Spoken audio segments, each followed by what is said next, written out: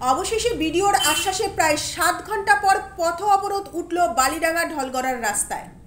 প্রায় সাত ঘণ্টা ঘাটাল ব্লকের বালিডাঙ্গা ঢলগড়ার রাস্তার অবরোধের জেরে ঘটনাস্থলে উপস্থিত হয় ঘাটালের বিডিও সঞ্জীব দাস।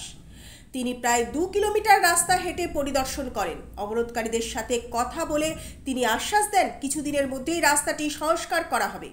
তিনি আরও বলেন, পুজোর আগেই বেহাল রাস্তাটির আংশিক মেরামত হবে এবং দুর্ঘটনা দুর্ঘটনাপ্রবণ গর্তগুলিকে সাত দিনের মধ্যেই সারানো হবে। প্রশাসনের তরফ থেকে আশ্বাস পেয়েই অবরোধকারীরা অবরোধ তুলে নেয়।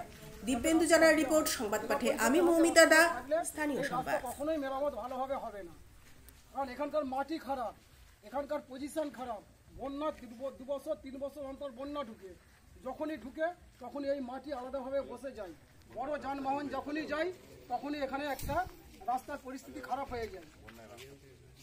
তো সেই জায়গা থেকে এখানে এই জায়গাটায় যে আপনি দাঁড়িয়ে রয়েছেন, এখানে এক মানুষের উপর জল হয়, বন্যা হয়ে গেলে তাহলে রাস্তা কীরকম থাকবে বুঝ- বুঝতে পারছেন?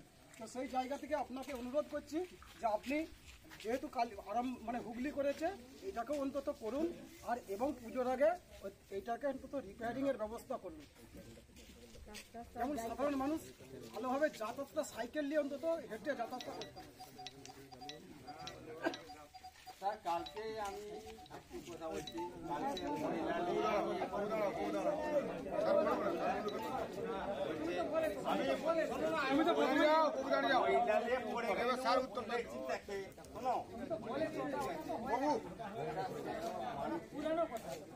যাও বাবু দাঁড়িয়ে যাও আর দাঁড়া ঠিক আছে। তো বলেছে স্যারকে স্যার ঠিক আছে আমি ঠিক আছে আপনারা একটু যা- বলার থেকে বলে দিই তারপর আমি যেটুকু বলার বলব। নাহলে শুনতে পাবেন না সবাই।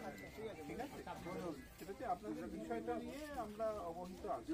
এবং এক্ষুনি একটু আগেই আমি আবার আমাদের অ্যাসিস্ট্যান্ট ইঞ্জিনিয়ার পশ্চিম মেদিনীপুর জেলা পরিষদের সাথে কথা বলছি। ঠিক আছে?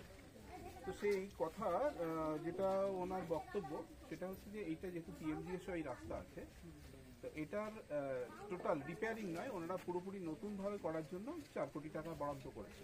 ঠিক আছে? তো সেইটা নিয়ে কেন্দ্র এবং রাজ্য সরকারের মধ্যে একটা বৈঠক হয়, তারপরে ফাইনালি সিদ্ধান্ত, চূড়ান্ত সিদ্ধান্ত হয়। তো সেই সিদ্ধান্ত নেওয়া হবে পুজোর আগে। ঠিক আছে? এবং নতুন করে যদি টাকাটা বরাদ্দ হয়, তাহলে সেই বরাদ্দের কাজ শুরু হতে হতে জানুয়ারি মাস।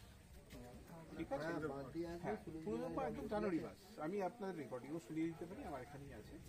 তো তার আগে আর এটা যেহেতু পিএমডিএস এর রাস্তা আমরা অন্য কোনো জায়গা থেকে এটাকে রিপেয়ারিং করতে পারি না অফিসিয়ালি ঠিক আছে? আর ওনাদের যেটা বক্তব্য এটা যদি আমরা রিপেয়ারিংও করি বা রিপেয়ার করা হলে যখনই আবার ঠিকঠাক হয়ে যাবে তখন কিন্তু আবার আপনাদের নতুন রাস্তাটা পথ বন্ধ হয়ে যাবে। সেই জন্য ওনারা রিপেয়ারিং এর দিকে যেতে চাইছেন না পুরোপুরি নতুন রাস্তা করে দেবেন। কিন্তু সেটার জন্য ধৈর্য ধরতে হবে। যদি দেখা যায় যে নতুন রাস্তার প্রপোজালটা আপনার গৃহীত হলো না, কেন্দ্র রাজ্যের বৈঠকে, তখন হয়তো রিপেয়ারিং এর প্রশ্নটা আসবে। কিন্তু এই মুহূর্তে আমাদের যেটা করতে হবে যেখানে খুব খারাপ আছে সেটা আমরা পঞ্চায়েতের সঙ্গে আলোচনা করে দিচ্ছি।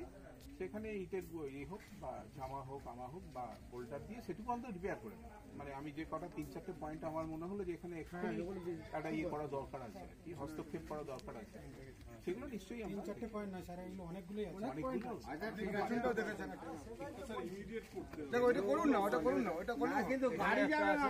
কিন্তু গাড়ি যাবে না। গাড়ি যাওয়ার হয়। গাড়ি কিন্তু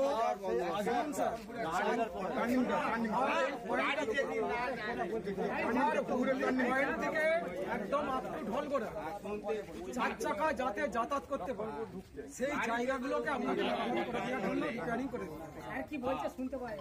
আমার আমার দেখুন আমাদের তো একটা সবকিছুর সীমাবদ্ধতা আছে হ্যাঁ রিপেয়ারিং এর বরাদ্দ টাকাটা আপনি বলতে পারবেন ওরা রিপেয়ারিং হয়ে গেলে তখন আর নতুন রাস্তা পাওয়া যাবে